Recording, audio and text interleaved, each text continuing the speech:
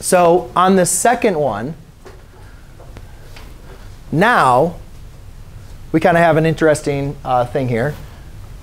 We don't have any restriction in the numerator. There's no radical in the numerator. So now we don't really care what's in the numerator. Remember I showed you up there on Des like on Desmos. It doesn't matter what the heck's up there, right? It's no, no restrictions, at least what we're dealing with. So my two restrictions, restriction number one is going to be um, what's under the radical. So x plus 4 has to be greater than equal to 0.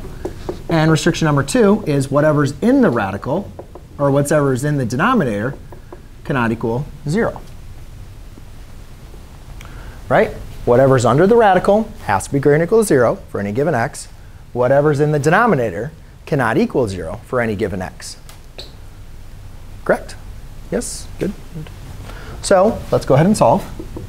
x minus 4, x minus 4. x has to be greater than equal to negative 4. OK, cool. Can handle that. Um, and then over here, you have to undo the square root would be square it. So you square both sides. x plus 4 cannot equal 0. Minus 4, minus 4. x cannot equal negative 4. OK. So that's really important because here it says x has to be greater than or equal to negative 4. But here it says x cannot equal negative 4, right? So therefore, since it cannot equal negative 4, so basically what we would write is um, negative 4 then is actually not contained. It's contained for here, but it's not contained for there. So therefore, our final answer is going to be not contained. So over here, it was contained. Oh, it's negative 4. Thank you.